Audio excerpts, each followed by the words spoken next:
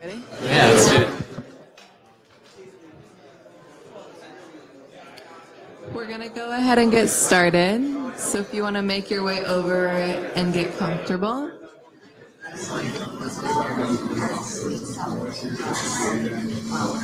Okay. Welcome to the assemblage. We're so excited to have you here tonight. I wanted to give you a few house rules before we got started.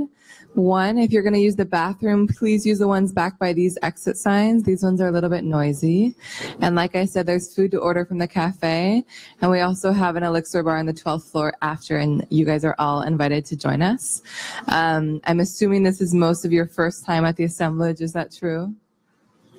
Yes. Okay. So just to give you guys a little bit of context about where you are, um, we are co-working, co-living social space that is really designed to support our members in fulfilling their mission through our programming, through our wellness classes, through our Ayurvedic food, and through our community. We have this building is 12 floors, so we definitely encourage you to explore after. Um, we have two more buildings opening in the next year. Our next one is in Wall Street in March, which has um, a hotel as well.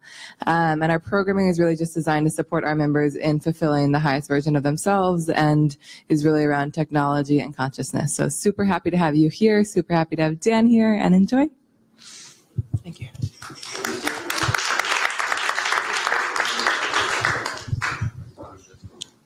You guys can hear me? Wow, that's really loud. It's better? You got this. Okay. Well, thank you so much for coming out today. Yeah.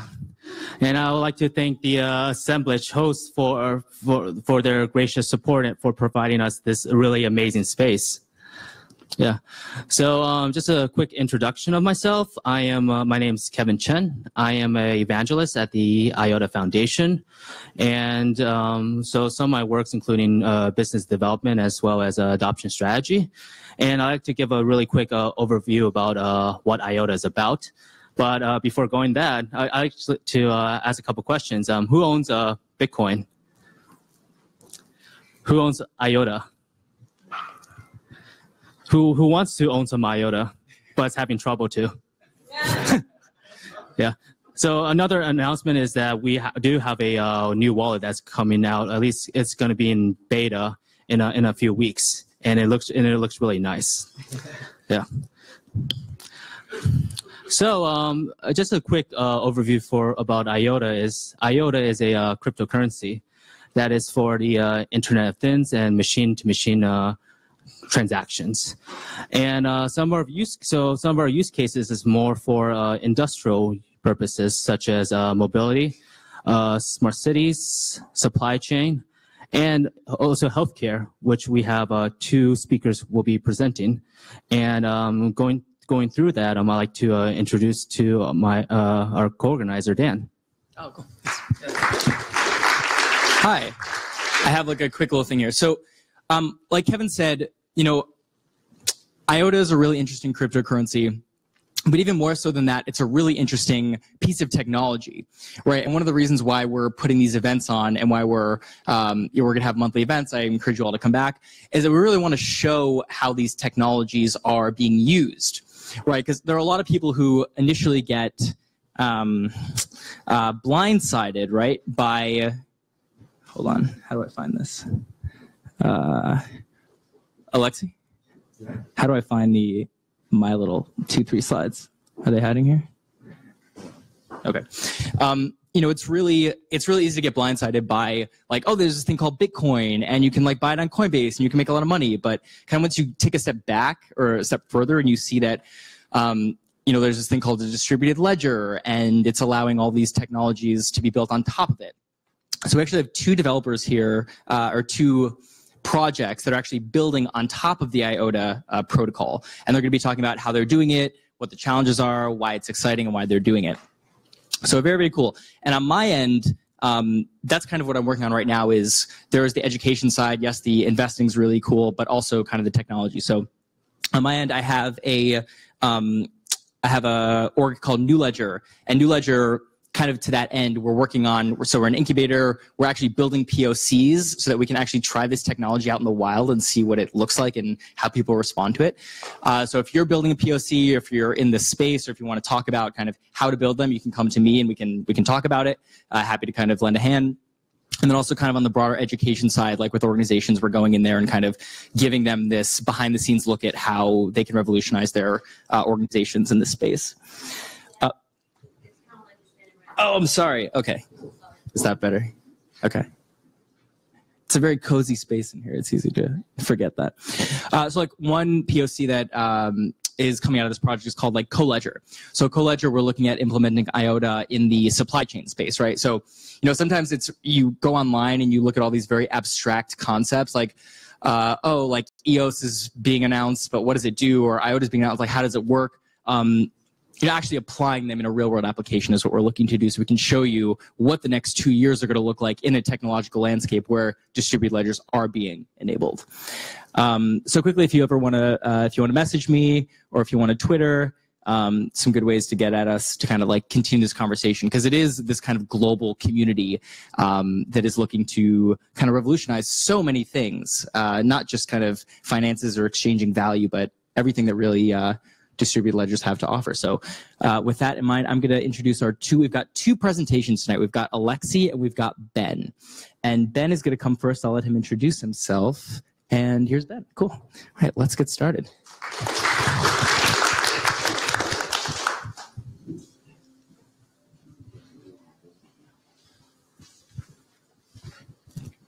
Hello. Hello.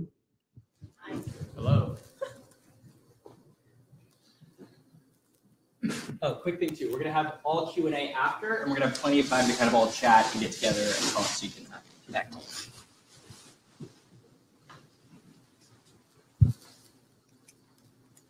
Awesome. I'm good. Hello. My name is Ben Royce. Um, this is the project I'm working on, Debut M Health. Um, this is an implementation, of course, of uh, IOTA in healthcare. How did I get here? What am I doing here? Um, I started a rural telemedicine project with a doctor, and that led to Internet of Things to implement that. And I fell into IOTA after IoT, and I fell in love with it. It's it's great. Uh, Why is IOTA so great? Um, no mining, no fees, scales, speedy. So I saw a lot of because we talk a lot about distributed ledger technology and the promises of it, but there's a lot of hurdles in that. IOTA gets over some of those. So with the Internet of Things, that's a natural fit for IOTA, but there are other applications beyond the Internet of Things. Electronic health records is what I'm pursuing. There's, there's, I mean, there's a gigantic number of projects out there. Um, this is just one. Lexi will have another one. So towards a debut protocol. So what am I building? I'm building a protocol to put healthcare records onto IOTA, onto the Tangle. First, the bad news. Patients don't necessarily care about their health records. We all own our health records, but we don't get that involved with managing them. So a lot of this technology that allows you to manage your records is really groundbreaking and really far thinking in the things you can do with it. But most people, they just, you know, it's the doctor handles it, they sign some forms, forget about it. However, perhaps we're going to open up some new possibilities and people begin to think about what they can do with their health records. I mean, uh, one of the, a lot of th- things they talk about on IOTA is with um, monetizing your own data. We live in a world where Facebook is monetizing us. Why is Facebook monetizing us? Why aren't we monetizing our own data? Um, there is ethical considerations with monetizing healthcare data, but if we're talking about from the point of view of the patient owning their own data, then now we're talking about something, all sorts of things. This may be one little thing. Um, if it's an app on your phone, aiming for effortlessness so that the patient doesn't have to worry that much as they do nowadays with paperwork and all that crazy thing at the doctor's office. If it's easy and straightforward, then maybe the patient can begin to embrace some of these changes. Data silos, um, that's a big problem. Again, like with Facebook owning all of our data, the people that own your healthcare data, why would they want to share that? Why would, why would it make sense for them? So we can talk about maybe from a company's point of view, this is not such a great idea. But maybe from, again, the individual point of view, but also the government point of view, HIPAA, that's the, uh, anyone know what HIPAA is?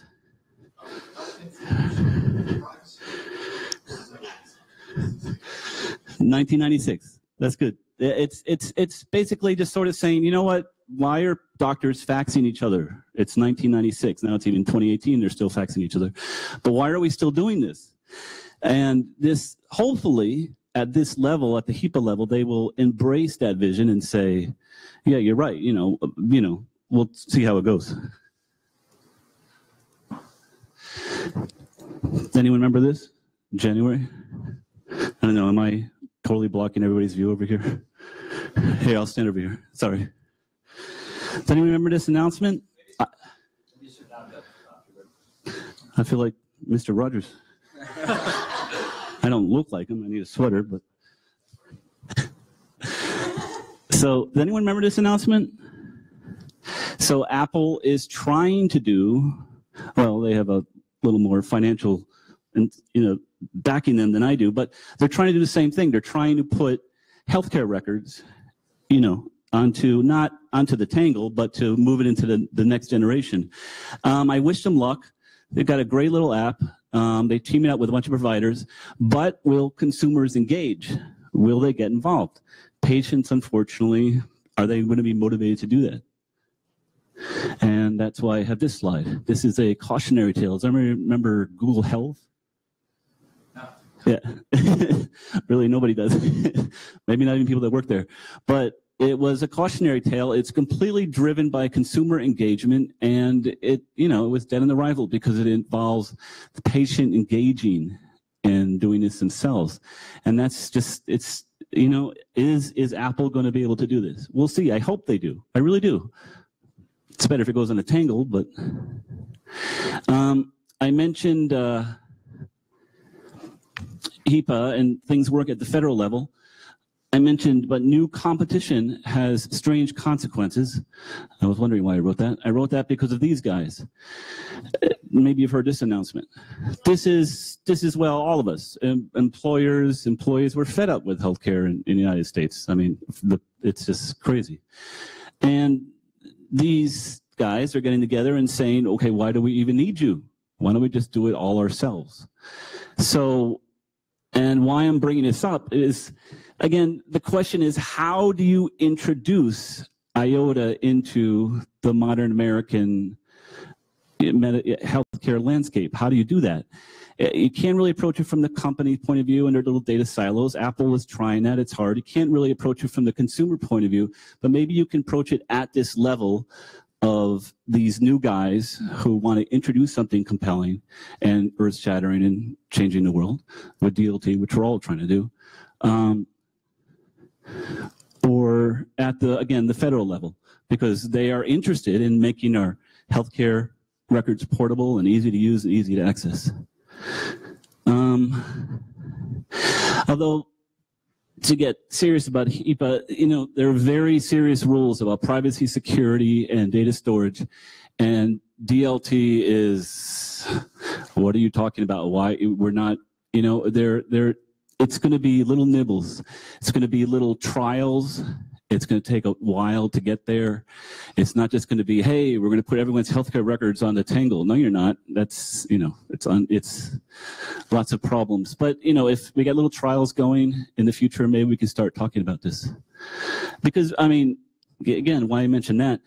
Because DLT really is a perfect fit for what they want to do at the governmental level. They want our healthcare records to be easy to access. They don't want people to repeat tests. They don't want people to, you know, oh, I, I, I moved all my records. I don't know. And then it's just this bureaucratic nightmare. If we can make it portable, heck, cross country, across the world, where your records just sort of effortlessly follow you. I mean, that's that's what we're all aiming for.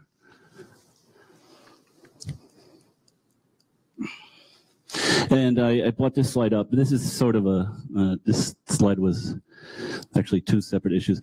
Um, I, and there, if, if it doesn't move forward in the United States, so what am I gonna do with my little project? Well, there's lots of countries that use HL7. I, I didn't even mention what HL7 is. Did I, did anyone know what HL7 is? Okay, that's health level seven. That is pretty much a standard way that electronic health records are transmitted. Like, you know, you take a pulse ox reading, you you get admitted to the hospital, things like that. That's the verbiage. Um, Sorry, I'm trying to turn up. Yeah, you can keep going. Oh. um, I mentioned how a phone app, really everything, everything is a phone app nowadays, and it really should be because it's almost like, I mean, I call it a problem area because, and somebody out there smarter than me, please figure this out. If we can have some way to establish identity in a good way It's just, you know, it's earth shattering. It'll change everything. But so you have all your, your access to your records through your phone.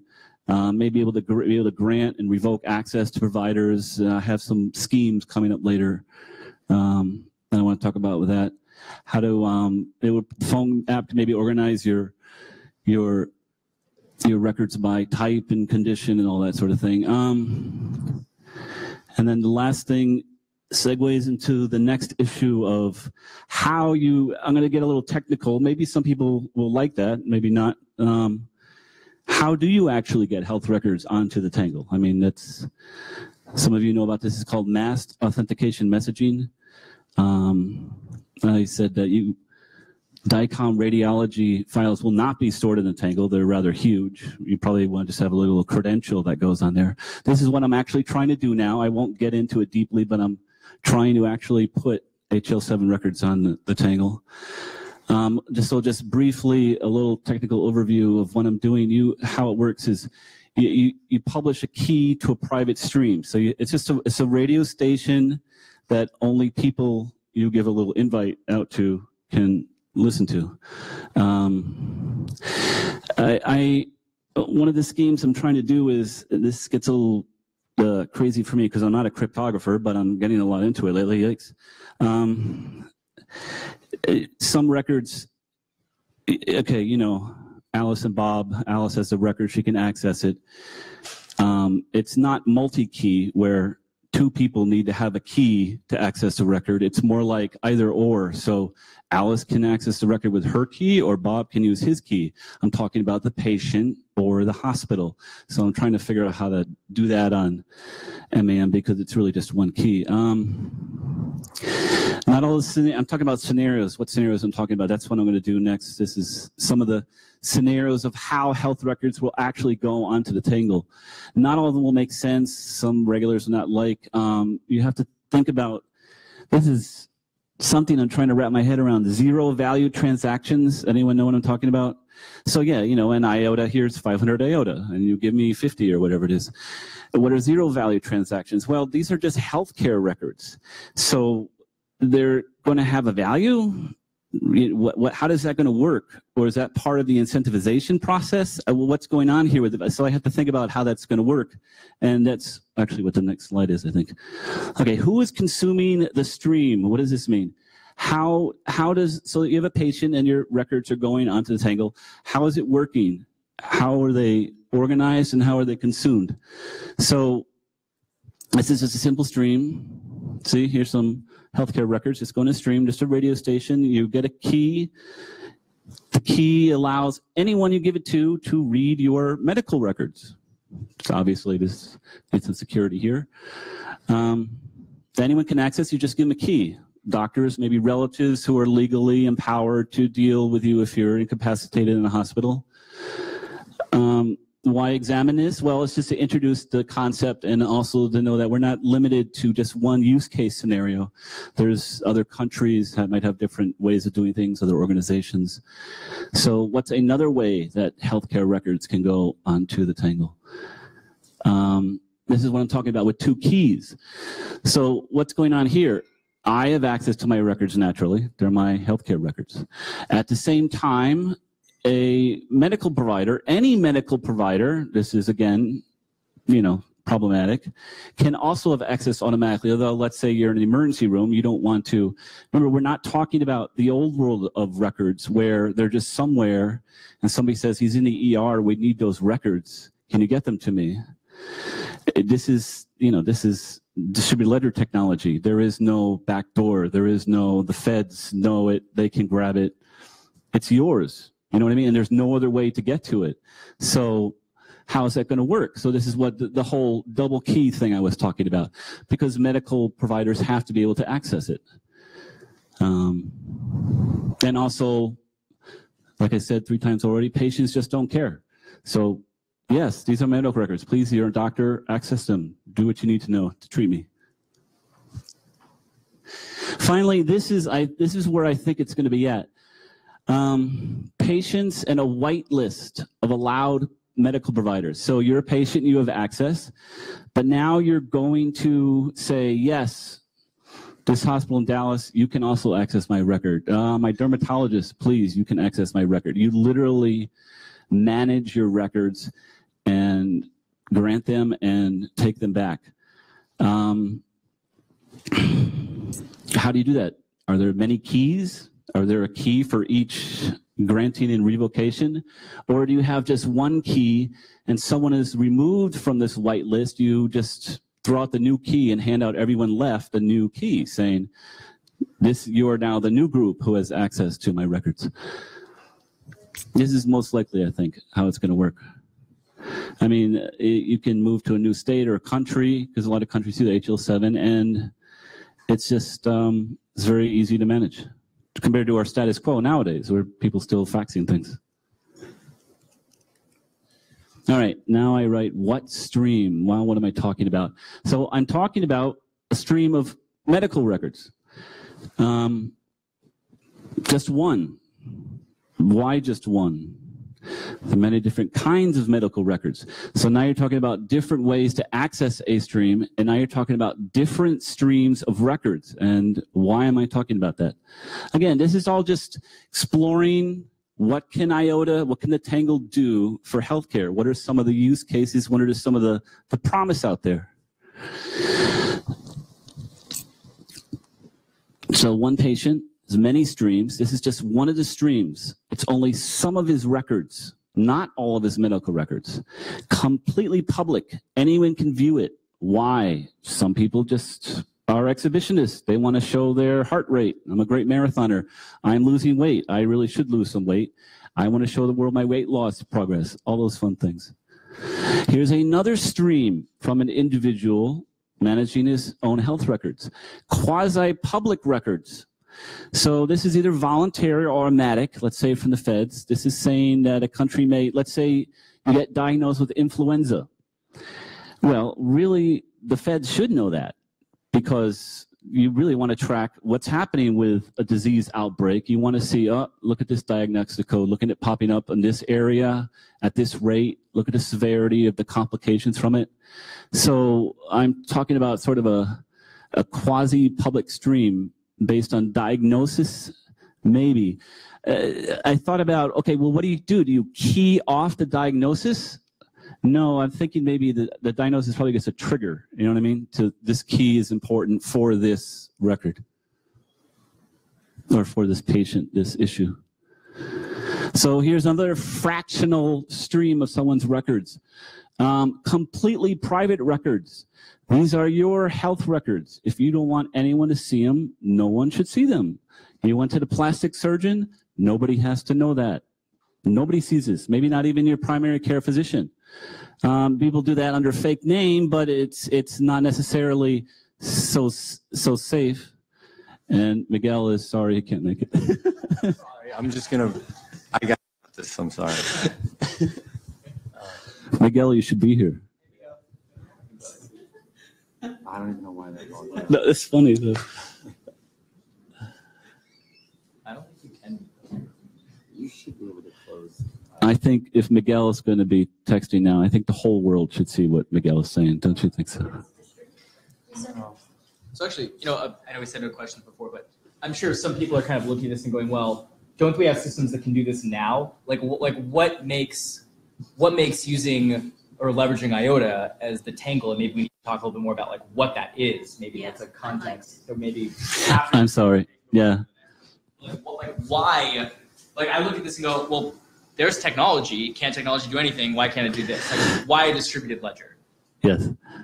Now, and and Alexi will go a lot more into the basics of IOTA. Uh, This is it's it's useful. It's informational, and then when you understand more of the basics.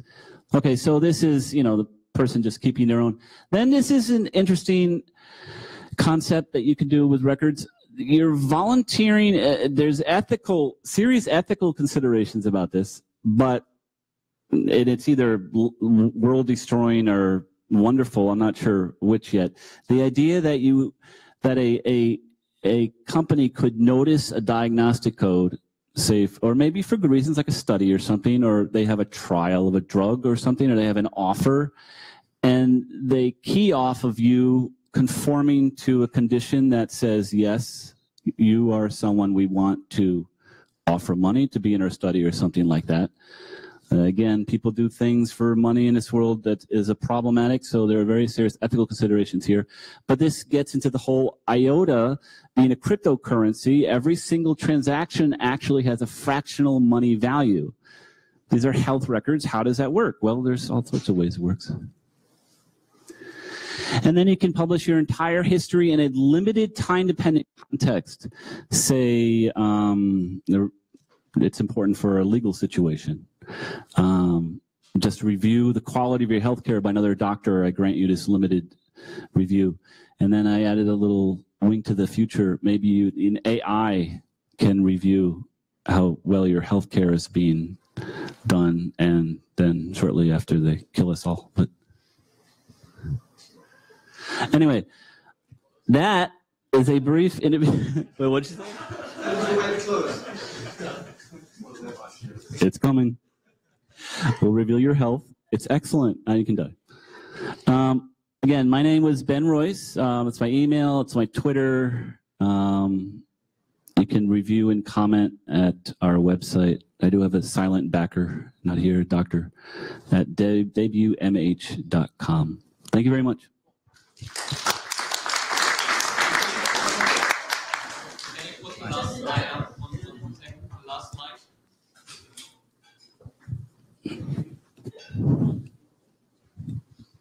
And I'm supposed to turn this off, I think.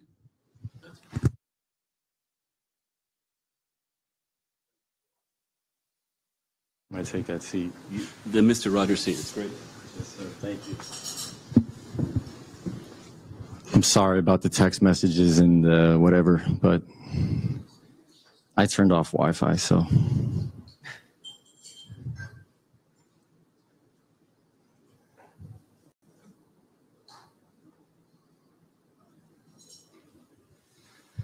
Okay, how's everyone doing?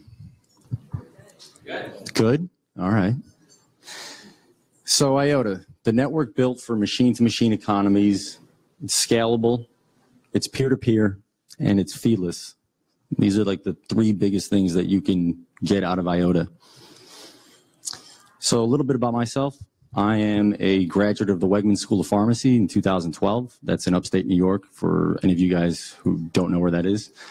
Uh, my interest in the Internet of Things began a couple years ago uh, in the spring of 2016. I worked with a developer on, of all things, an energy monitoring system. Um, don't really know what piqued my interest. Maybe, maybe because pharmacy is kind of boring. So I got into technology and thinking about, well, if we can gather information on an energy sensor and we can turn that into uh, a real value and show how much is being consumed per house or per warehouse, uh, we could then substitute that sensor with any other diagnostic sensor uh, out there. So after IoT, I found IOTA and it was like, okay, that makes perfect sense. And from there, I also delved into, I think, much like all of you guys here are interested in not just other distributed ledgers like IOTA, but also traditional blockchain and Bitcoin. Um, without Bitcoin, I don't think any of this is would have been possible. So initially, everyone is going to be interested in the traditional technology, the one that started everything else. So what we want to look at is some of the value that cryptography brings, as well as decentralization. Now, for a while, it was difficult even for myself to understand, like, what is so, who cares if it's decentralized? I don't think anyone cares if it's decentralized as long as it works and functions the way that a regular centralized application will work. So until that happens, I don't think anyone's going to really value decentralization, but hopefully by the end of this, I can highlight some of the reasons why you would want to have a decentralized network, especially when it comes to the collection and distribution of information. Uh, I'm also going to talk a little bit about exponential organizations. I don't know if you guys are familiar, but there's a book by Salim Ismail, and I use that book and the principles from that and apply it to the IOTA Foundation and sort of look at it from that perspective and say, is this an organization that is going to be exponential and how does it rank uh, according to those principles. And the IOTA Evangelist Network, as we mentioned before, or maybe we didn't, but um, I'm also a member of the Evangelist Network. And just so you guys know, I am not a developer. I am not a coder. I am not a computer programmer. I am not anything like that. So for all of you who are not in that category, which hopefully is, I'm assuming most of you, I'm going to give it you this presentation from your perspective, from the, the way that you want to actually know this information, and that is how is IOTA going to actually impact my life? Like what? No one really cares how it works unless it does something that's going to benefit me. Not necessarily me, but just society in general. Okay, so we're going to go through this lightning quick. We're not going to get too uh, involved with this, but just so that we all understand what is the difference between IOTA and other blockchains, we're going to go through what a mesh network is, a directed acyclic graph versus blockchain, and then some of the future direction and implications of uh, the Internet of Things. And then, as I said before, we're going to look at exponential organizations, how that applies to IOTA, and where I believe it will take us in the future. And then I'm going to highlight some proof of concept uh, ideas as well as real world projects that we're working on. Just to stress before we get there, uh, I am not endorsing uh, any of these other companies that I highlight. I just found the coolest technology that I believe will be impacting our life, especially from the pharmacist point of view or from the healthcare point of view, from the pharmaceutical point of view. And I think it's going to be here before we are like ready for it. I think that it's going to happen what feels like overnight because eh, with everything else that we've seen in technology, everything has gotten ridiculously cheap and we're just getting better and better at implementing these solutions. So like cell phones are now, I don't know, who knows how many times more powerful than your traditional computer was like 10 years ago. And then we're going to see that technology be brought to manufacturing and then delivering of medications, I believe. So a mesh network refers to a rich inter. I took this from Wikipedia, by the way. Uh, mesh refers to rich interconnection among devices or nodes. All that means is that there is an internet connection for a device or something that's propagating the network, such as uh, like a router, right? Normally, you would think of a router; it's connected to the wall. It's got wireless, uh, you know, in the house, and each so if you have multiple routers in your house because you need to get better coverage that just represents a node. That's all a node is. Uh, but a node is also something that i look at. It's not necessarily the correct terminology a node on the iota tangle. It's there can be a transaction that represents maybe a different tip of the tangle. But i'm looking at it from both perspectives. What it looks like from a physical point of view like the devices that give everyone the internet and then looking at it from the perspective of a transaction within the, the IOTA network, the Tangle. Cloud and edge computing. I think everyone is familiar with cloud computing. You know, there's Amazon Web Services. All you know that there is some supercomputers over in like Virginia, and they are keeping up all your data information. And you know, Apple has their own cloud, and I'm sure you guys are familiar with clouds are. But what the edge is is I'm going to do the best that I can to describe this, but the best way I can explain it is that there is going to be devices in the future that are going to be collecting information, not even the future, they're here now, where they will be collecting information, processing the, the information that they collect locally, and then before it gets sent to the rest of the network, it's going to have it packaged in a neatly, much more organized fashion so that it's not going to bog down the rest of the network and it's going to be just uh, more easily distributed. And then in the future direction, we're just going to show, I have a graphic to show that though. So these are the different types of networks. The one that we're concerned with is right here in the middle. It's a mesh network. It just shows that the devices are connected from multiple points from one to another. And it's got a number of different wireless connections. So you have LoRa, low energy Bluetooth, Wi-Fi, NFC, RFID. If you're not familiar with some of these, uh, I mean, just do a, a Google search. But I'm thinking that pretty much all of those wireless connections are available on your phone except for maybe LoRa, and that's it. And so here's a graph that's projecting in the next couple of you know decades in time the number of Internet of Things that are going to be connected to the internet. And what that means is it's going to be exponentially growing the amount of information that's out there.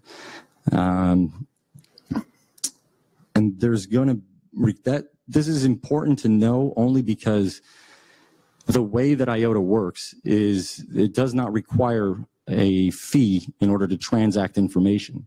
So if you have billions of devices that are communicating hundreds or thousands of times in a day, even the lowest number, like this is the most minimal transaction fee would begin to accumulate and be impossible to scale.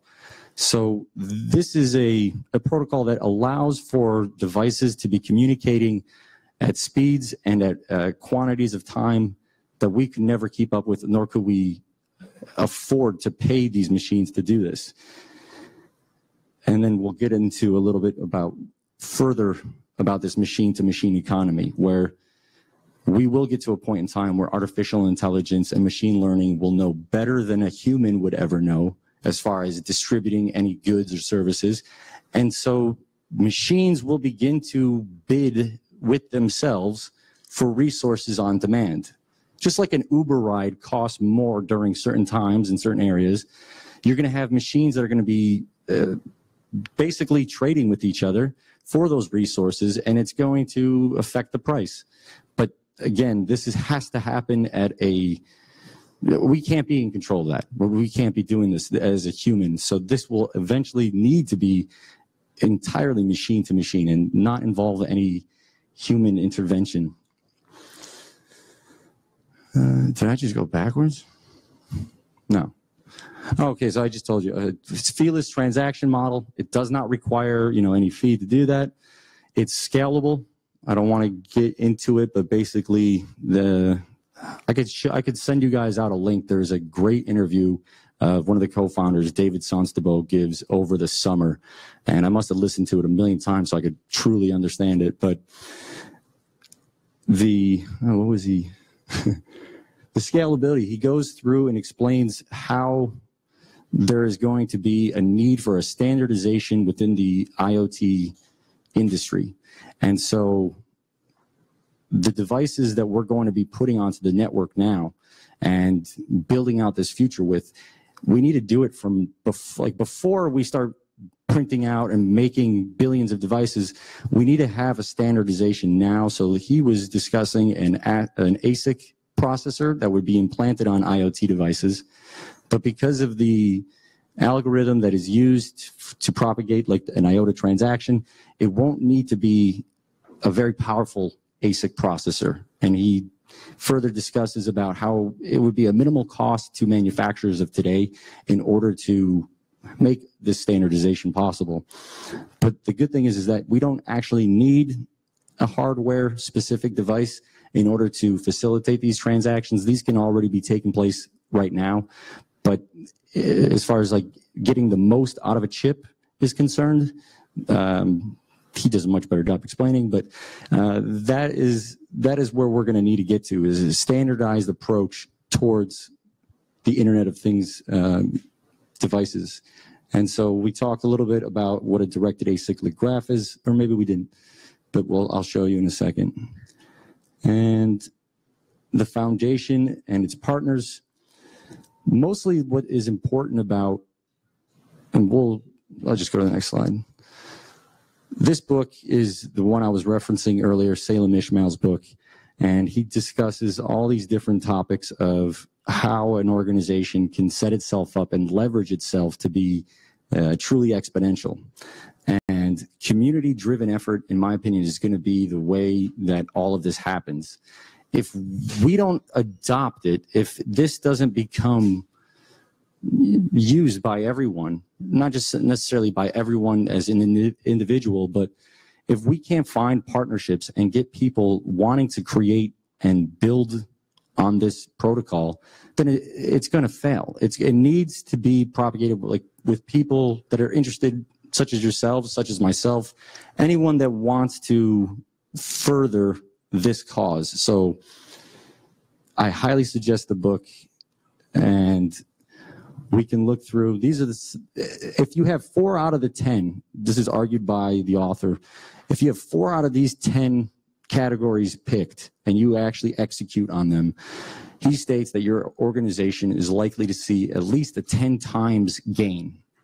Now we don't have to go through all of this in order to determine if whether or not IOTA is. I mean, if you had bought IOTA when it came out and you bought it in the middle of the summer when it really dropped to like 15 cents, it's already gone 10 times.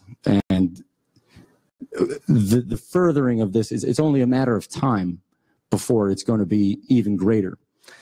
But we're not going to get there until we can start to develop on this platform and find more use cases. So today we're talking about healthcare and how I see it. But that's because if if any of you are in the healthcare industry, if you're a doctor, a nurse, a pharmacist, eh, or just a, if you're a patient and you're trying to get a prescription, you're trying to do, uh, you want to see your doctor and you can't. There's just so many barriers in order for you to get information from one location to another, or from one, you know, prescriber to another for me, this represents an opportunity for facilitation of information or transfer of information, as well as just the paying process, how we're getting paid as far as from a pharmacy's perspective, how we're paying others when we submit for claims. I mean, there are certain things that you would expect that a pharmacy should be able to do, and we can't because we don't actually have any special access to information in our own computer system. So, like I said, I'm not going to go into all of this because IOTA pretty much has 10 out of 10 on, on this scale. But here's an example. I put some examples of, of where it could fit. So crowd and community, meetups, the Slack channel, Telegram, Discord, you know, investors. I'm sure a lot of you here have bought IOTA and you want to know what's up with the price. I mean, like that's got to be on everyone's mind, I'm assuming, because if you're anything like me, I mean, I want to know that too. Uh, some the, the algorithms, this is continuously ongoing. Obviously, you have the, the foundational layer of the, the Tangle, as well as Ben brought up uh, masked authenticated messaging. I can't stress enough that's that's going to be crucial as far as how I see it can be implemented in the in the healthcare industry.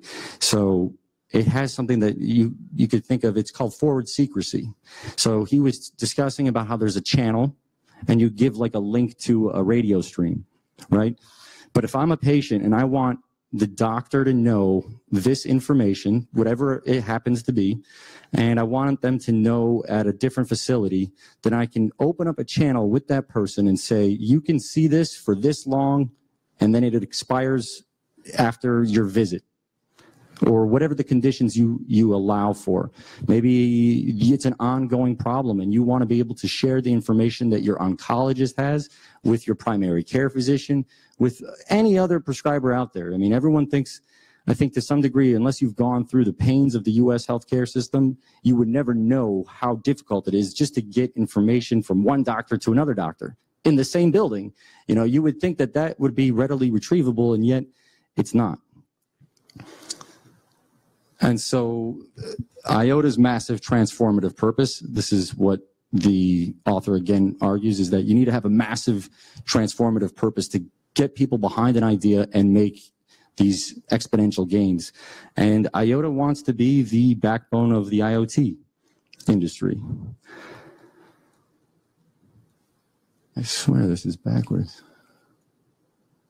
And so this slide is just discussing what is the Tangle. It talks about the different layers of it. And this is just from their website, so you guys can check out their site if you haven't already. But what I'm most interested is this microtransactions, what this will allow us to do. And this is how masked authenticated messaging will fit its place into there. And it's everything as a service. Right now, we are still stuck with using we're paying for physical things or physical services or whatever the case may be, but we haven't yet digitized everything. You know, everyone is seeing like there's a blockchain for everything, right? Don't know if there's really a purpose for a majority of those blockchains that do that and do this and do this and one is marginally better than the other and then you find out that most of these blockchains don't even yet exist and they're just white papers and there's just all this nonsense out there. But what is going to be important is can it actually function and be able to scale at these obscenely high levels of uh, number of transactions as well as the incredibly tiny level of transaction. I mean, you can you can add a, a, a, transaction onto the network without any iota value. I mean, that's that's incredible. You can't do that with any other blockchain. Well, I don't know if there's other claims out there that they can, but as far as I know, they can't. All right, so this is a pyramid of the. You have data at the foundation, right? And we just and Ben had discussed this the power and the value of data. Um, so data is gathered, information is inferred from the data, knowledge is distilled from the information, and then wisdom is supervenient on that knowledge and can guide action in a variety of ways. So in 2017, the generation of more data than the previous 5,000 years combined. So this is where exponential and the zero like fee transactions are going to become extremely important. Uh, the next decade will see over 75 billion connected devices that will interact, provide, store, and engage amongst themselves. So this is what the machine-to-machine economy is uh, going to be. So data is a limitless uh, is, is limitless in supply, it's the basic unit of value for the connected machine economy. Trading data will be beneficial for all parties. And the goal is to make data free. So Ben had talked a little bit about data silos. And we'll talk about that again. Basically, just is like, think of a silo, right? You have the grain, it's stored in there, and that's only reserved for the farmer that did that. You know, it's not like it's anybody's, but there is information out there where in the healthcare industry, we are feeding the pharma companies, we are feeding any other medical company all the information ever. This is way before Facebook, way before anyone else. Google was mining your data. The health industry has been mining it forever. You, you don't have access to that. Like, really, who has their medical record? I don't think anybody really does. And so, this is what making data free again means. It means that you own the data and you can choose to do whatever you want with it. If you want to sell it, you can go ahead and sell it. If you don't want to sell it, then don't sell it. But it should not be where it's a one-way street, where you are the person that is not only afflicted by these problems, but it's it just burdens you. It's always the burden is on you. HIPAA it stands for the Health Information Portability and Accountability Act. Portability and accountability was supposed to help people in order to transfer information, not make it more difficult. It's not even, if, if any of you guys familiar with HIPAA, it's, it's not really that secure. If you call like an insurance company and you want to find out information on the plan, the policy, something, and you call and you say you are that person and all you need to know is their name and date of birth, you, sure, they'll give it to you. That is all that's required. If I tell them at the start of the phone conversation when I'm calling on a patient's behalf, they're like, all right, well, I can't tell you that. I'm like, they're right here. But it, they won't give you the information. Got to hand the phone over to someone else. And it's like, it's ridiculous. It's absurd. Like, that's all they needed? All right, fine. Okay, yeah, you can give it to them. I get the phone back and then I get the information that I was requesting for in the first place. So it just is to me it's a it's a sense of doublespeak where they talk about how it's important to health information and privacy to me that just sounds like a way to stifle innovation to restrict anyone from wanting to get their own information. And so that they're like no no no you don't you shouldn't have that data. It's don't worry about it. It's important but you can't access it. And that's where i think there needs to be a dramatic change in in healthcare. So we're just looking for, so this is where community comes into play. And I had seen there was a developer here that I had met like two weeks ago, literally two weeks ago, never heard of IOTA before. Within two weeks, he was able to perform something that I've been wanting to find if someone could do, and he's already done it. So this is where the benefit of these meetups and just sharing these ideas. I mean, this is none of this is real yet. It's not real yet because we haven't built it, but it's going to come, and we're going to need ideas to fuel this innovation. IOTA very much real. No, no, I know that. I'm talking, yes, IOTA is real, correct. This is real. I'm talking about, right, the, the future examples that I'm going to show and share with you guys uh, about what I think is going to happen. So I've talked a little bit about the, now we call abysmal U.S. healthcare system in desperate need of saving. Um, and if you are not aware, there is monopoly that is being played right now by a number, a handful, not a number, a handful of companies.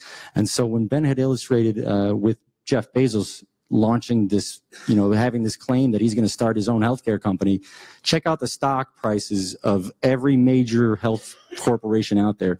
You saw CVS go down. You saw Medco go down. Everyone is now freaking out about what is he going to do? Because when Jeff Bezos gets involved, he does very well.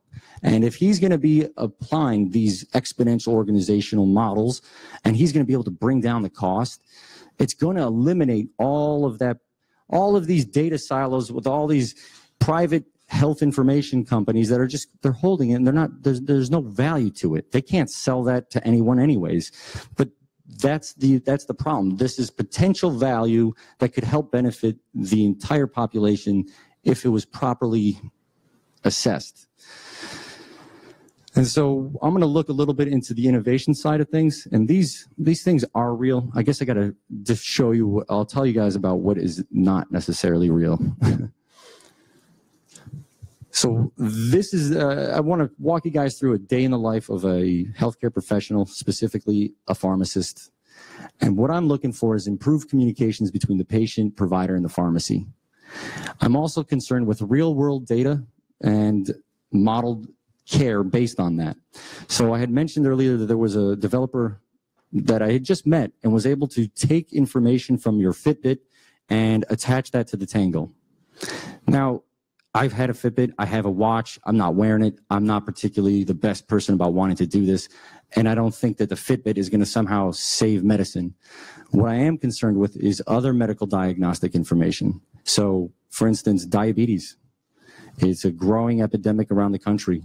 We have people that are testing supposedly three times a day for their their sugar levels, and yet I can tell you just based on refill history that that is definitely not the case. But what if there was a way where every time you were to read your information, it would be attached to the Tangle, and now either you could privately hold it or you could sell it back to the data marketplace. And that's where I believe the innovation will come in. You're going to start to see a massive amount of information that is yet to have ever been witnessed before. The best sources of information for health studies have always been retrospective studies on a retrospective analysis on uh, studies that were conducted with either Medicare or Medicaid patients because they represent the largest transactional history of any set of population uh, of patients. So what if we could monetize and put every single transaction within someone's healthcare onto a distributed ledger? And that's where IOTA comes into play. So Andaman7 is real. this is a real company. What is not real is that we do not have um, IOTA as a way or a means of paying for information. But what Andaman7 is, is a universal platform that facilitates data exchange within the disparate sectors of healthcare to improve outcomes and increase reimbursements. What that means is like there is, uh, you can download the app, there's a way for you can you can put your own medical record. You can download your medical record and store it on Andaman7.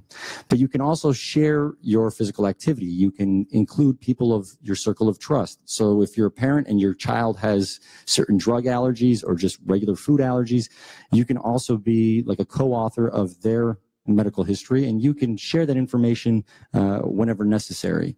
And this becomes incredibly important if you were in some sort of emergent situation and you need information immediately and you can't wait and you don't even know where to turn if you needed to get this information. So having it available to you now would be extremely uh, advantageous in the time of crisis because when you're freaking out and you don't know what to do and you have it right in your pocket, it, it could be a difference between life and death.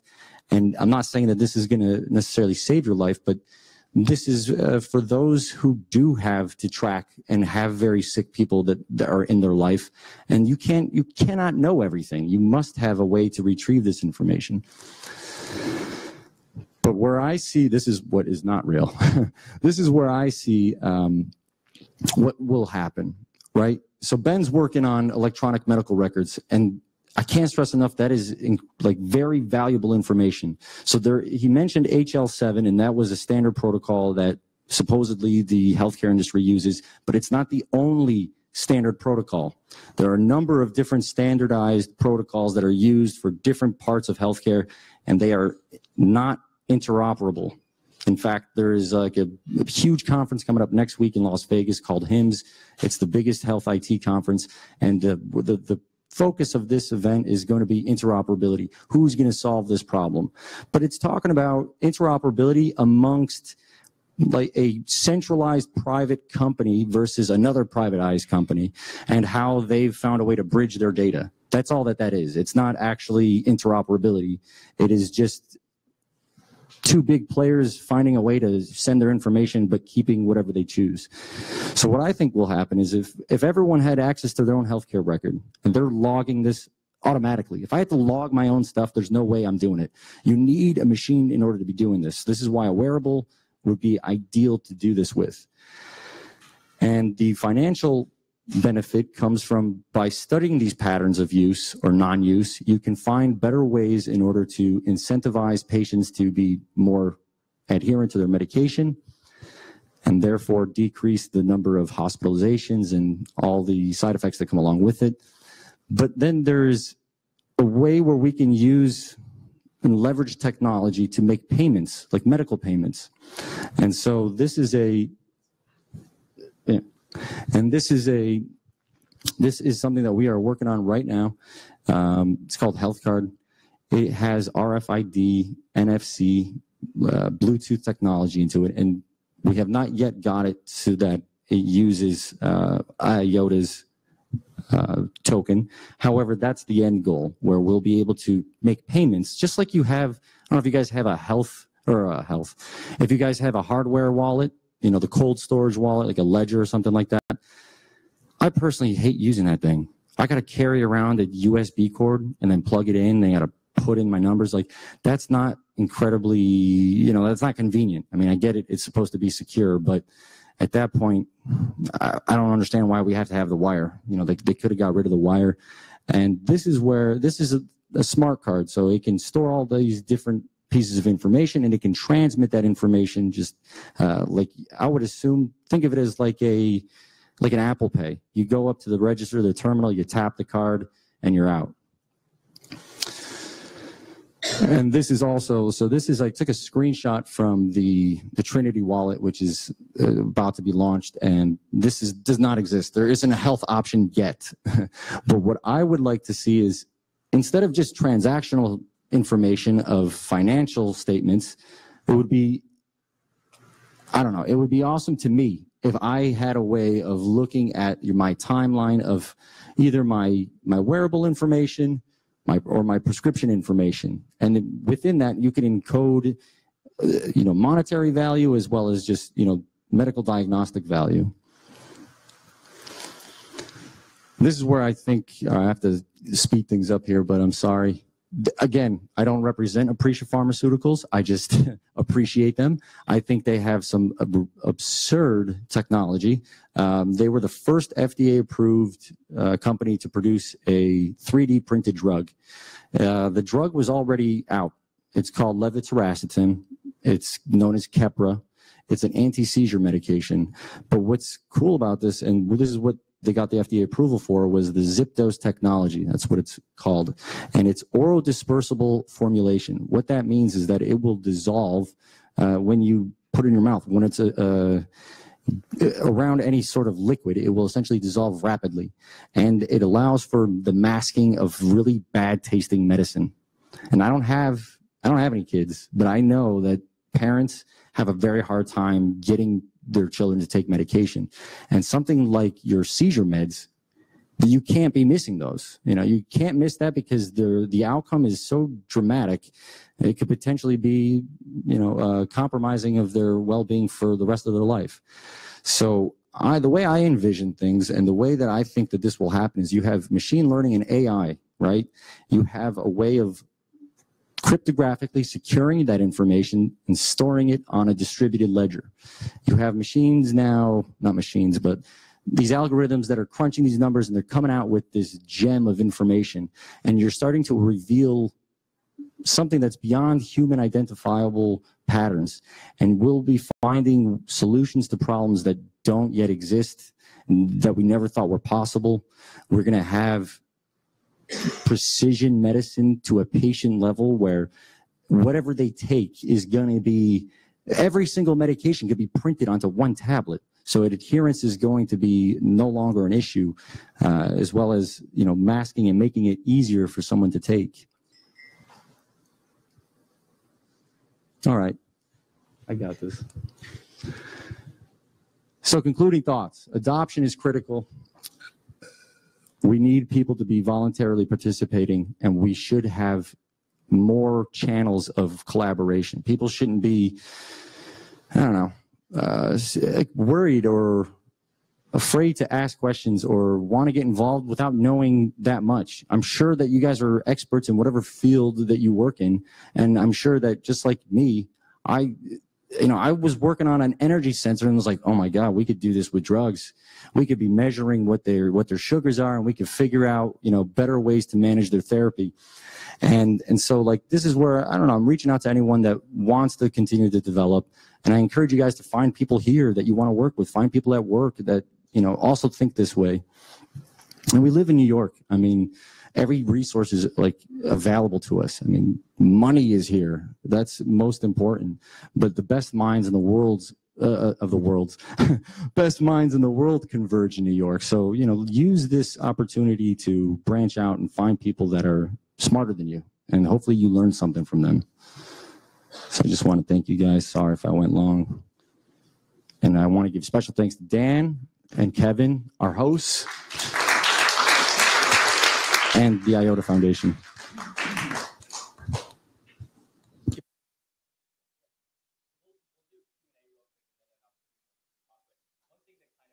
Sorry. Uh, one thing that kind of was spoken, but not like it was spoken around, but not really like uh, communicated. Um, you know, you look through both those presentations, you go, well, you know, we, we talk about distributed ledgers, we talk about uh, we talk about decentralization, but why couldn't you just build this on a regular application, right? And the biggest difference is that when we say distributed ledger, it's kind of code for privacy, security, kind of owning your own data. That's really what we mean when we say distributed or decentralized uh, in this context. So, whereas Alexi could build this on a regular application, he'd just be competing with all these other people that, you know, when you look at Apple, when you look at um, like Apple's health initiative, they're storing that data and then they own it, right? So with the distributed ledger, you could have your own node, right, where all this data is being collected and then you own it, right? It's stored on, um, you call it like a node, like you, you, it's stored on your computer and only you have access to it and you can determine how you want to use it. You can either send it or you can save it. So with all these new systems, they're called like DApps. So a DApp is a um, it's a decentralized application. You're gonna start seeing them. 2018 is really like the year of DApps, where applications are gonna start coming out, and you're not gonna even know that they're using a Tangle or that they're using a distributed ledger. So, like, if there was a distributed Facebook, and we'll get into Q and A if I'm like drawing on, uh, but that's important. Um, you know, if you talk about like a distributed Facebook, a key like if it looked exactly the same, but one was using like IOTA and one wasn't, the key difference is that all that data that they're um, accumulating about you, you would own that. So it wouldn't be stored on a centralized server that then they sell to advertisers, right? So you'd kind of you'd have some sort of I don't know place on your dashboard, and you'd see, oh, like here's all my data. Like, what do you want to do with it? Well, I want it to be private. I want it to be um, public. And the reason is because the data is stored locally, right? So like if um, what was the big hack that happened? Equifax. Like if Equifax had been on a distributed ledger, there wouldn't have been a centralized server to attack, right? Like the data would have been distributed. So maybe they could like compromise your own personal computer, but that's one node out of millions. So it adds this level of protection and privacy and security they don't really see. So that's what's really exciting about all these projects that are being built on the IOTA Tangle is that anything that you can imagine kind of in its current centralized form uh, will have a decentralized counterpart in the future. So that's kind that's kind of like the big, big, big takeaway. It's like, oh, I could use a centralized service that my data, I'm just creating data and then it's, you know, stored, stored somewhere. Or if I use uh, Alexi's um, uh, service, then I control it, I keep it, I get to say how it's used. So that's like a, that's a really big distinction. And as as we have more uh, people coming, like next month, we're going to have someone from the IOTA Foundation Fund, uh, and he's going to be talking about how he's funding projects like this, right? Uh, so it's it's not just healthcare; it's really all areas and all aspects. So, yeah. I don't know if you have an answer. What is the difference, uh, like, what is the advantage of IOTA um, compared to Ethereum or BitShares or, so IOTA doesn't have fees, correct? But then, like, as far as I know, they all have bugs, right? So have you, um, like, what would be the difference? Like, if you put the same data on Ethereum or BitShares or EOS? Sure, I got this Yeah. for now. I might need you to come in. Uh, so one of the key differences, right? So IOTA actually isn't a blockchain. So Bitcoin's a blockchain, Ethereum's a blockchain, and there's this proof of work mechanism where you're paying miners for transactions, right?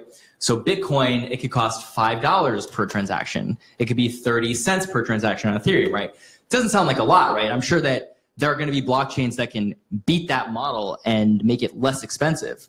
The problem is when you're dealing with IoT and you're sending billions of packets of data throughout the day, like Bosch, for example. So Bosch is leveraging IOTA within its network of IoT devices.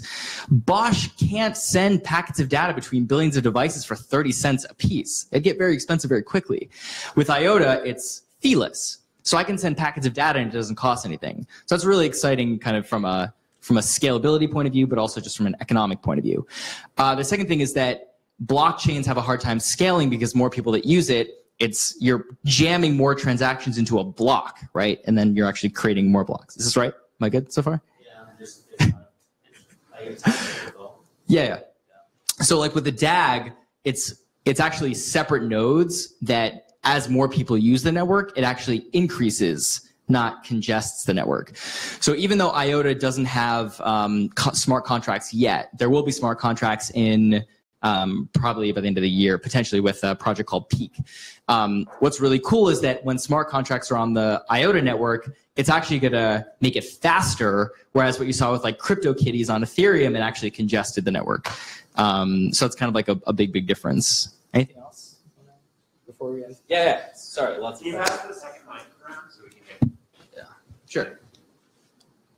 Uh, yeah. Oh, thank you. Could- Could you talk briefly about um, Edge? Because unless I missed it, it was just mentioned but not really explained. Simulator. We can talk later because I don't want to. Okay, that's, that's too peripheral. Thanks.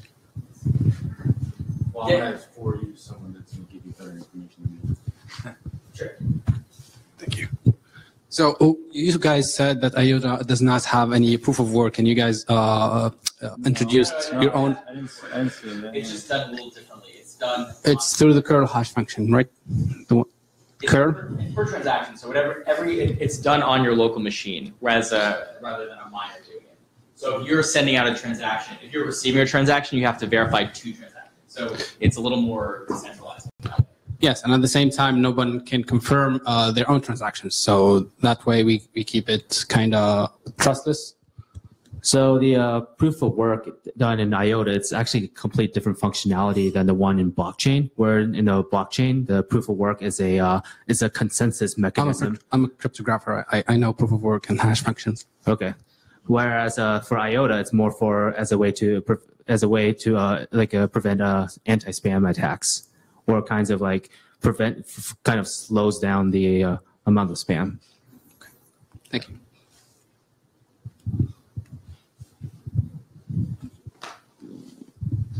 I have uh, two questions. One's brief, I think. Uh, with that future card, is your uh, roadmap to put a ternary processor on that chip, or how are you going to do the proof of work for? I mean, I, I not hardware specific. That would be, I- that would be the focus and the goal. Ideally, we would want to standardize all devices that are going to be on the, in the next IoT revolution to have that. Now, I don't know of many manufacturers that are looking to do that, aside from like Jinn Labs, I know is working on ternary processing. So even taking that out of the equation, the, the proof of work, the concept is to have the, a payment processor do it. you would want to be able to use the card to facilitate, like, just like you could, just like you could.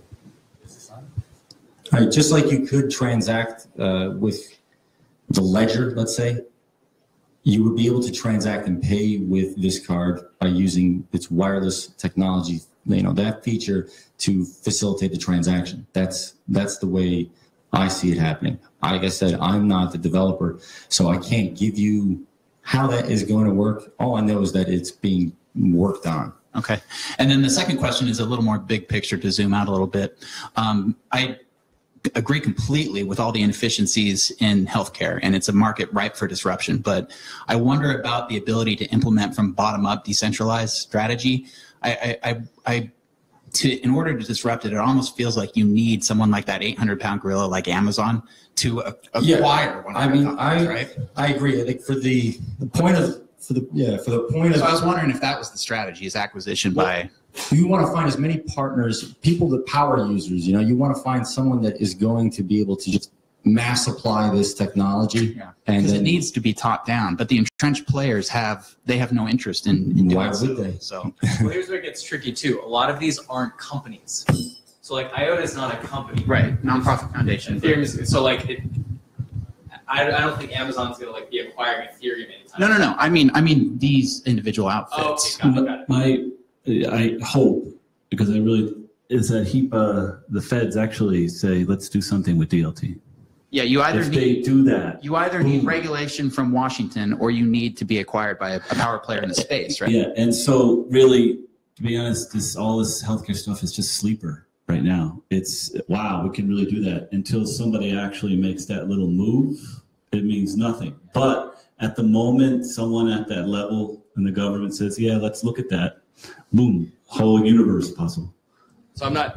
I'm part of the IOTA Evangelist Network and not the IOTA Foundation. So if anyone from the IOTA Foundation is watching, and hopefully don't get upset with me, uh, but that's kind of what one of why I think what's so unique about the IOTA Foundation in particular, rather than a lot of these other uh, plot projects, is that they're working so closely with industry with that in mind. So like if you look at what they're doing with Bosch, if you look at what they're doing with Fujitsu, uh, with uh, a lot of these automobile companies that they're partnering with, they're creating these open protocols with these behemoth companies. So like I don't know exactly. I know that there is a whole healthcare group like Miguel, who was part of the IOTA Foundation. He's working with like a, uh, he's also IN, uh, like a 14 person group that's committed to development and outreach. And th- they're, I think that IOTA has it the right way where you're right. Like, I think a lot of these projects, they're just building the protocol and hoping people like get on board. And I think in 2018, that's not going to work. I think that you have to have connections and, and relationships in the industry, which is kind of, well, I've seen it very much so in like the automobile uh, kind of like IoT area, but not so much in healthcare. But maybe there's something happening behind the scenes that I don't know about. Yeah, I guess that was my question. Is I see the enterprise adoption happening in automotive, but in other sectors, I haven't heard or read much. And maybe it's behind the scenes and it just hasn't been announced yet. But yeah, I mean, I'm not aware of that, but I think that this is, you hear about those, those connections because someone does it. That's, you know, that's how it happens. Someone just goes, they make that connection with these, that's what IOTA Foundation is using all this technology for. They want others to build on this. And then they want you to bring partnerships. You get, you bring your industry to IOTA or, you know, vice versa. That's the, that's the way I see it. Like, it, like I said, I looked into IoT and it all of a sudden just like, it spoke pharmacy to me, even though that's only because that's my lens. But for someone else, that I don't, I have no idea what everyone out, out here is doing for work. But I guarantee you, you're all thinking, "Wow, if I maybe I could apply this to my certain industry, it would make this better." Like mostly, if you if you're not exposed to the medical industry, then you would never know my problems. But like I deal with fax. Here I am talking about billions of internet connected devices. And the only legal way for me to send another piece of medical information is by a fax. I mean, this is absurd. I can't even use an email. It's not within the law to do so. So I need to use a fax machine. It's like we are burdened by uh, just like this archaic, antiquated use of legacy systems that needs to just be, we got to be done with this. I mean, I, I don't understand how fax is still a relevant thing. It's like you said, it's ripe for disruption, but there has to be buy-in from above. Yeah. There's so much frustration out there. It's- Particularly in It's gonna happen. Yeah. Gonna Well, one thing to keep it what and last thing to that, one thing to keep in mind too is that um, the uh, education of the consumer is going to grow exponentially in the next two years, and I think that data and privacy is going to become at the forefront. Once you once you start working with applications, that's like, oh, you mean I can hold my own, da- I can protect my own data. Oh, what does that actually mean? I think it's actually going to, it is going to be down up a little bit The in that EU sense. is really ahead of us on that with GDPR, and it's good that they're based in Germany, I think. So you're going to start to see consumers getting way more educated about it and then know it like demanding it and i think then that that's maybe a, a, a down up approach as well Uh, so this is a more technical question. Um, so we talked about um, uh, so we talked about IoT and how IOTA is helping machines communicate to uh, uh, different machines. Um, that's uh, really really fascinating. And what happens? Um, let's say uh, something happens to a group of let's say um, some machines that are communicating uh, through IOTA. Something happens and they can't connect to the um, the broader network. So what happens to the communication among those devices? So examples could include um, charging stations and Volkswagen cars, um, but somehow the they can't connect to the network. So do they have their own network?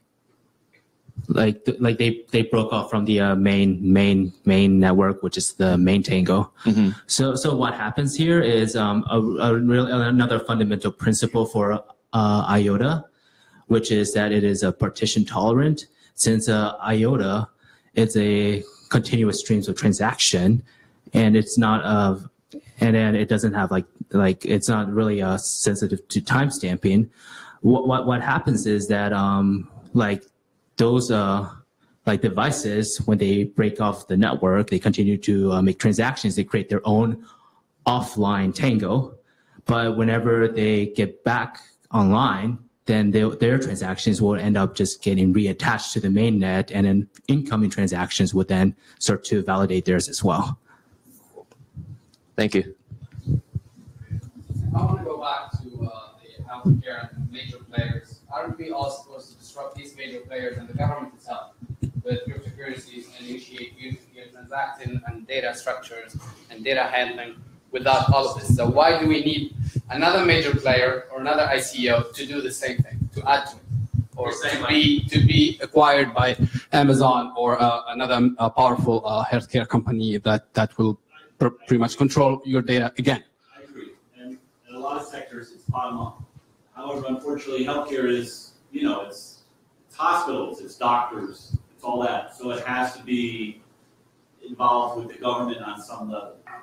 And, and Not really. We need to leverage the community's uh, power, not the government power. I mean, they have enough leverage so far, and I'm not. I mean, I, I don't have any. I don't share any data with uh, with any uh, with any uh, corporation or any um, uh, any government. But I'm very meticulous about that. But don't we all can uh, able to? Aren't we able to um, work on something together and create something together with one community behind IOTA or Ethereum, whatever it is? and bypass all those major players who are, who hold the power and take it back within our hands. That's what you guys want to do, right? the, I got into Internet of Things because the project I was trying to develop was in rural Guyana with a Guyanese doctor. So these are these Amerindian communities in the middle of nowhere. I'm, I'm from Africa. It's not in the middle of nowhere. It's somewhere in this. In the, I'm from Africa, North Africa. Oh, no, no, Guyana. Yeah, yeah. Uh, uh, it, so I- I'm saying these places are not in the middle of nowhere. Let's not refer to countries who are.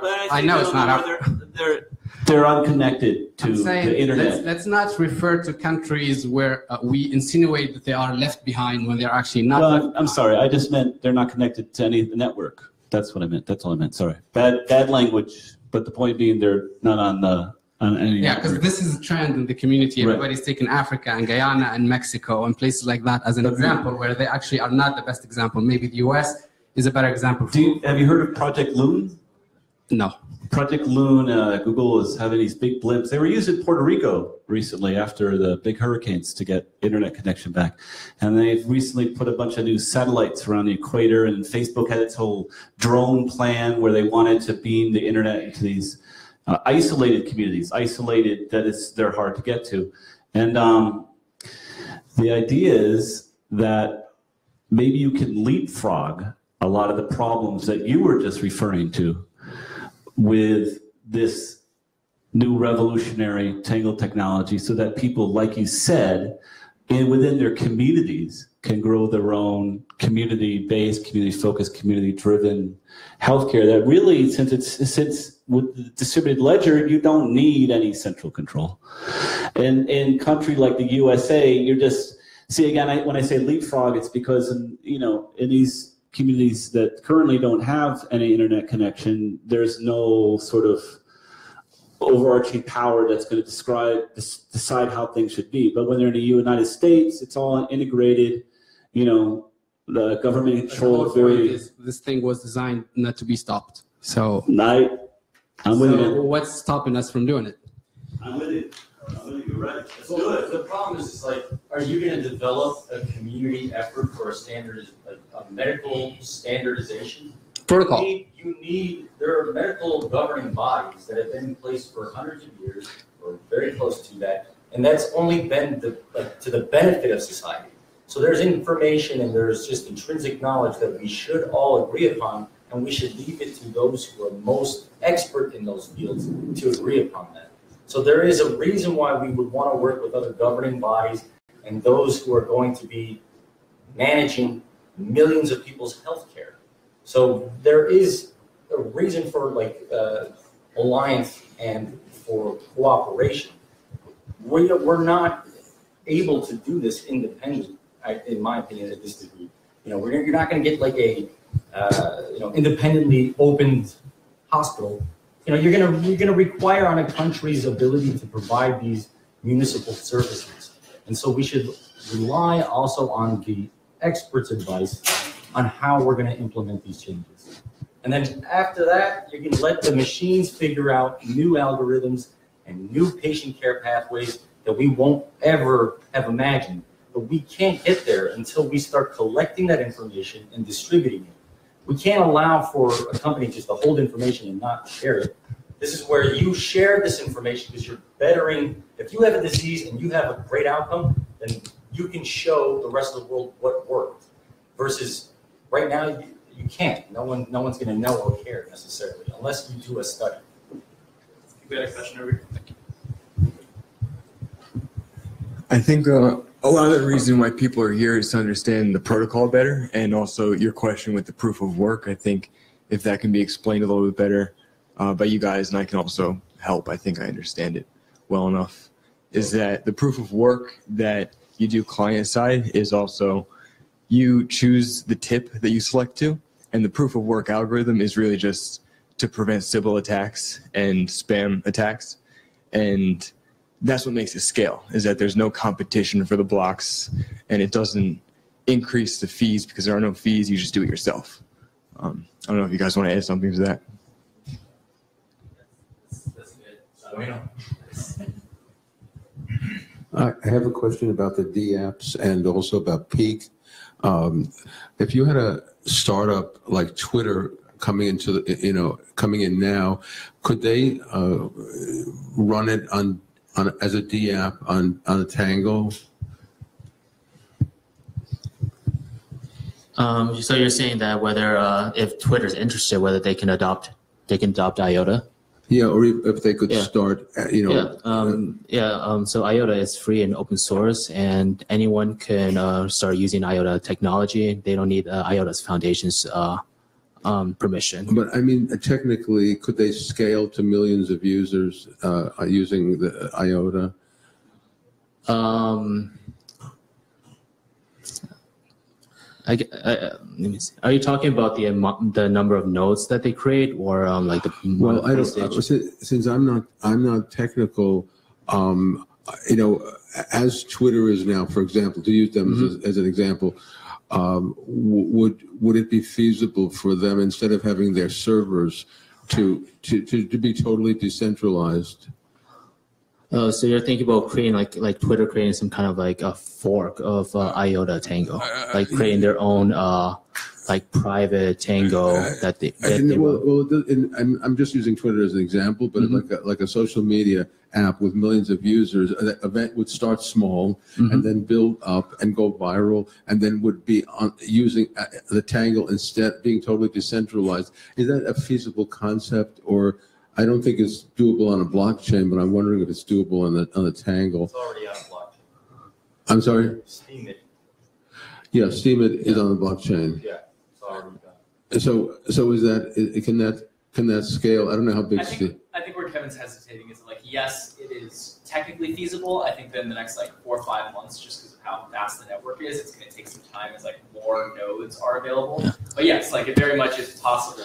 Eventually, it, it, it, there's a model that, that You could you could build it now. Um, you could use like for example Oyster, right? Oyster is a protocol that um, replaces ads on websites with uh, currency to earn currency. They're using IOTA um, distributed ledger for I think like transactions, but then they're also leveraging like ERC20 capabilities, um, uh, like Ethereum smart contracts. So you can kind of Around on. GitHub, there is a Twitter messaging app already. Uh, you know, looking at the code and all that kind of stuff. And it- it's, uh, you see Bill's messaging app using masked authenticated messaging. But what's interesting, I think it's about the TPS. If you have very high TPS, uh, IOTA is very weird because the other blockchains will slow down the more traffic there is. IOTA actually speeds up because each transaction has to confirm two other transactions. So what you're talking about, absolutely in a high TPS environment. transactions per second. Yeah. There's like a chicken or egg situation. It's like more as more people go on, the faster it gets, but it's not going to get faster. until Yeah. more people come I think ultimately it's when uh like it can like many people could use it once they are able to like pass the really, really hi- like the learning curve of actually trying to understand how IOTA uses it and making all these uh, different transactions. And my, my other question is about Peak. I understand that the IOTA Foundation is reviewing Peak. And uh, does it look like Pe- that there's going to be a kind of ERC 20 capability that Peak would make it possible for private companies to have a, a coin? So um, the purpose of Peak is uh, Peak is trying to create a uh, second layer uh, smart contract system on top of the IOTA Tangle. Although, um, so th- there is used to create uh, color coins, for example, um, uh, co- like uh, coins that have that are more that have like different functionalities that they that that um, the IOTA token doesn't have. For example, it's backed by certain assets or equity. Yeah, but in terms of the roadmap, um, they're still under review. One, la- one last question.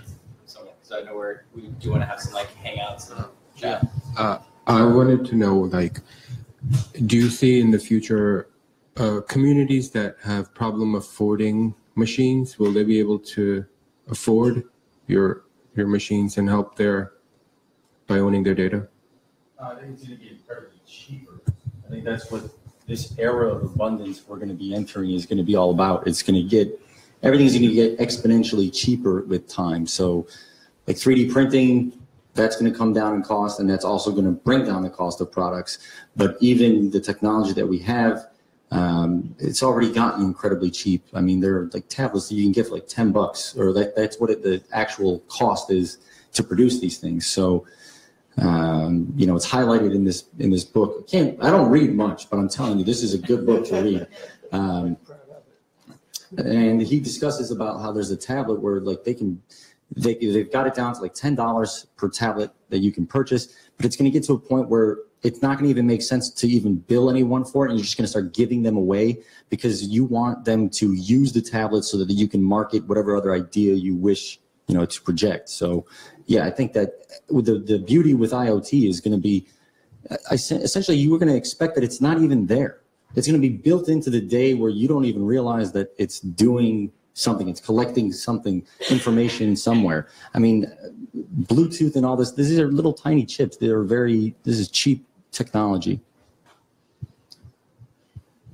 Cool. Uh, I think I think we've had plenty of questions. Uh, I think we should do like a little like mingling now because I know like one of the coolest parts about these uh, kind of connections is that we can all chat and like we're a pretty like diverse, really interesting group of people. So I always want to make sure that we have a couple. Uh, we are. Uh, we have some time to like connect and chat. So um, so thank you. Thank you.